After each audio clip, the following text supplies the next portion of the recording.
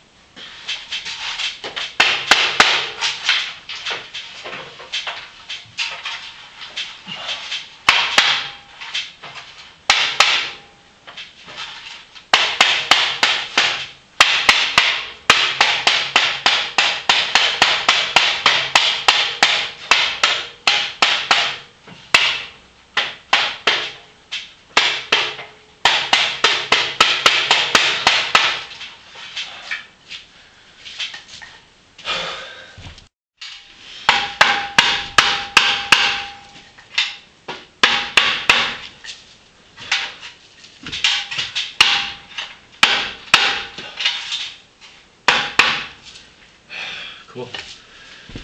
I wasn't sure how smoothly that was gonna go. but he's off the ground on his six legs.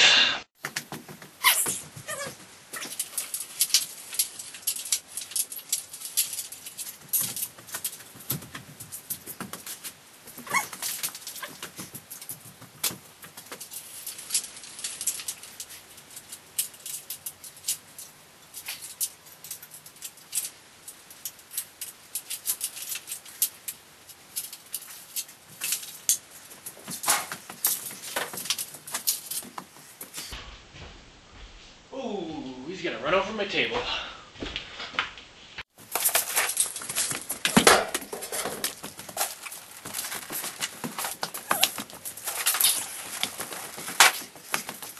Okay, there you go.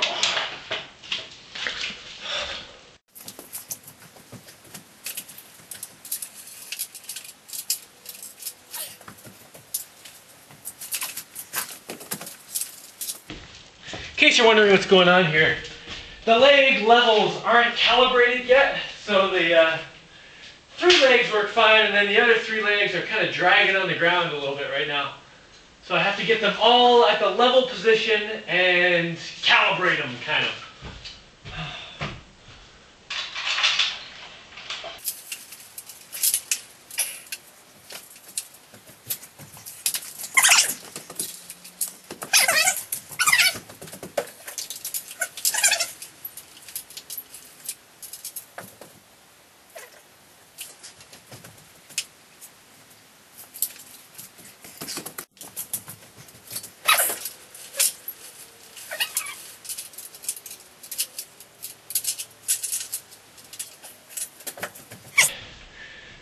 Next I have to calibrate everything, which basically involves going like this. And then locking a bunch of bolts in place when everything is level.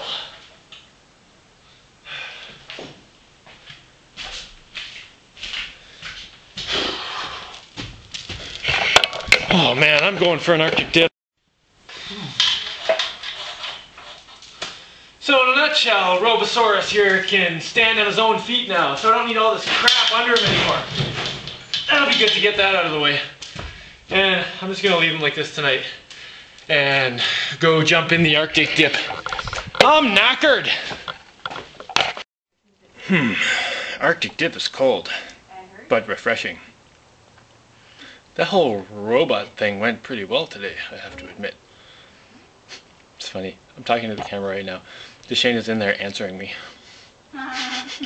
Man, it's way more nerve-wracking testing out huge machines instead of small ones with little ro tiny robot things. If something goes wrong, it's not huge and disastrous. But with big ones, pieces can fly off and hit you in the face, and, and then things break. It's horrible. Oh, anyway, it's uh, it's kind of exhausting. Try not to think about all the things that might go wrong. Good thing I'm. It's dinner time. I'm starving.